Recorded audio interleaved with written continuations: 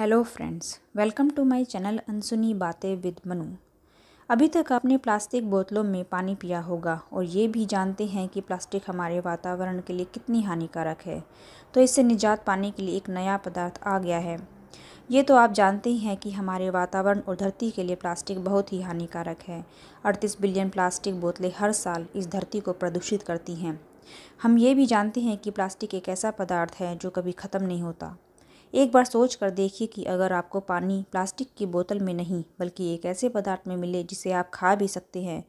तो अगर आप प्लास्टिक खा नहीं सकते तो ज़ाहिर सी बात है कि मैं एक ऐसे पदार्थ के बारे में बता रही हूँ, जो एकदम पर्यावरण के अनुकूल है। प्लास्टिक के पाउच और बोतलों में पानी रखकर पूरी दुनिया में बेचा जा रहा है। लोग पानी पीने के बाद बोतल फेंक देते हैं। टनों प्लास्टिक की बोतलों से कचरा बढ़ता जा रहा है। इस प्लास्टिक के कचरे से निपटने के लिए लंदन की एक कंपनी ने अनोखी पहल की है। कंपनी ने पानी का एक बुलबुला लॉन्च किया है, जिसे आप अपनी प्यास बुझा सकते हैं। लंदन के एक स्टार्टअप ने एक ऐसा पदार्थ विकसित किया है, जिसे बुलबुले का आकार देकर इसमें पानी भरा जा सकता है। जब प्यास लगे, आप इसे पी सकते हैं। पानी के इस बुलबुले को गटका भी जा सकता है।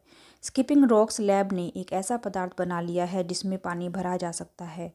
इस पानी के बुलबुले को ओहो नाम दिया गया है। ओहो नाम के इस पानी के बुलबुले को समुद्री शैवाल से बनाया गया है। ओहो एक बुलबुले नुमा पानी की बोल है। बोल के आसपास एक स्वतः नष्ट हो जाने वाली झिल्ली भी है, जिसे आप मुँह में डालकर आसानी से पी सकते हैं।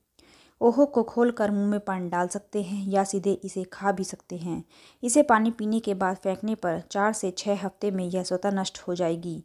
जैसे पानी खुला छोड़ देने पर भाप बनकर उड़ जाता है, नष्ट हो जाता है, इसे बनाने की प्रक्रिया में खर्च भी बहुत ही कम आएगा।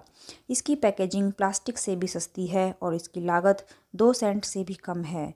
ओहो बोल से पानी पीने के दो तरीके हैं। पहला तरीका है, आप इसे इसमें छेद करके पिएँ। और दूसरा तरीका है कि आप सीधे इसे गठक भी सकते हैं।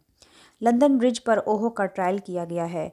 London engineers Rodrigo Gracia Gonzales इस ओहो बोल को बनाने के लिए पहले ही अवार्ड जीत चुके हैं। इस बोल से पर्यावरण को कोई नुकसान नहीं होगा। भारत में बोतल का 160 अरब का कारोबार है। अमेरिका में हर साल साढ़े तीन करोड़ प्लास्टिक बोतलें फेंकी जाती हैं। दुनिया के एक देशों में समुद्र में बोतलें फेंकने के मामले में भारत का स्थान बारहवें नंबर पर आता है। आंकड़ों से आप पता लगा सकते हैं कि हमारा पर्यावरण कितना दूषित होता जा रहा है। कंपनी लंदन मैराथन और ग्लास्टन ग्लास्टनबेरी फेस्टिवल में ओहो देना चाहती है। लंदन मैराथन में सात लाख पचास हज़ार प्लास्टिक बोतलें उपयोग होती हैं। इतनी प्लास्टिक हमारे पर्यावरण को कितना दूषित करती है, ये आप आसानी से अनुमान लगा सकते हैं। इस पर्यावरण को बचाने में शायद लंदन की इस कंपनी की ये पहल काफ़ी हद तक हमारे पर्यावरण को बचा सकती है। आज के लिए बस इतना ही। मैं आपके लिए ऐसी ही अनसुनी बातें लाती रहूँगी। तब तक के लिए stay safe stay healthy stay connected